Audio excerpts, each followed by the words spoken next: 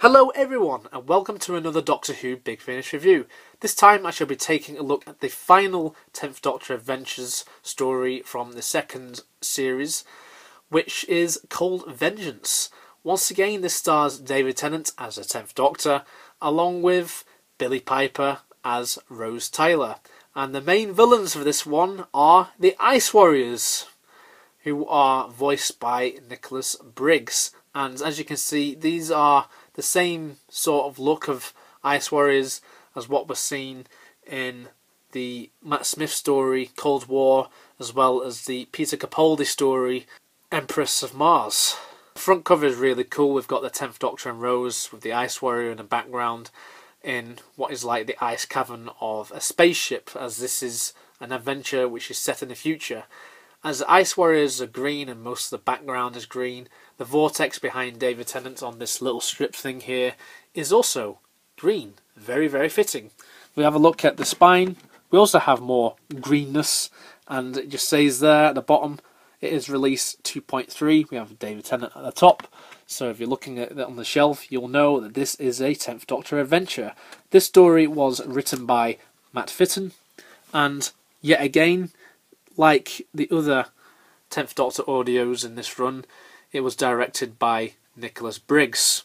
The TARDIS arrives on Coldstar, a vast freezer satellite packed with supplies to feed a colony world. But there are cracks in the ice, and something scuttles under the floors. Soon, Rose and the Doctor encounter robots, space pirates, and refuse collectors. As Coldstar's tunnels begin to melt, an even greater threat stirs within. An old enemy of the Doctor puts a plan into action. A plan for retribution. Nobody's vengeance is colder than the Ice Warriors. The cast includes Lord Haskor and Commander Slan. These are, of course, Ice Warriors. These are played by Nicholas Briggs. We have Lorna, Brona Volta, Callum Volta, and the management slash Bert. And most of these are to do with the Coldstar crew and the Space Pirates. Overall, pretty damn good cast, I'd say. And all the characters they play are pretty engaging. Here we have the alternate cover, and here we have the disc. And likewise with all the other releases in this second run of 10th Doctor audios, the advertisement underneath the disc, if you pull the disc out, will be for the first series of 10th Doctor audio adventures. Right, so what do I think of Cold Vengeance? Well, I've got to say right off the bat, I think that the villain in this, which is the Ice Lord, is definitely the best villain out of these three stories which have come from the 10th Doctor Adventure Series 2.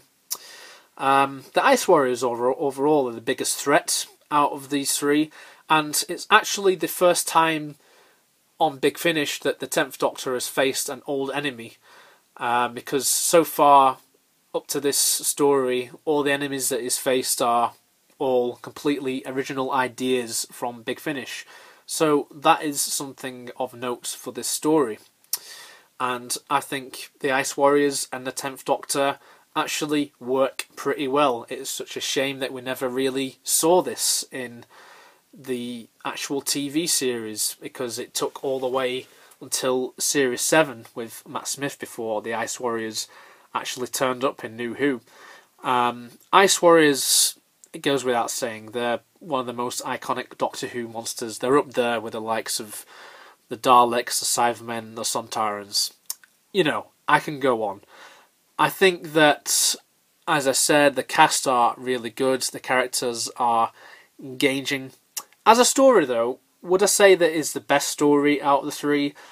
Probably not, because there's a few moments in this which I found I was a bit lost with, but it's not one which I was completely lost with because I think one of the most interesting parts of the whole story takes place towards the end because it takes place for the most part inside the Doctor's TARDIS and the Ice Lord sort of takes over everything and they're all held captive and I think it's brilliant, and there's a really big twist towards the end, which I thought was pretty damn good. And I think that the villain is great, and Nicholas Briggs, as always, does a really tremendously good job. For the most part, though, I think if you compare this to the other two stories in this series, it is pretty much run of the mill. Once again, you have little things like the Tenth Doctor and Rose are separated, and as I've said before, it does get a little bit repetitive.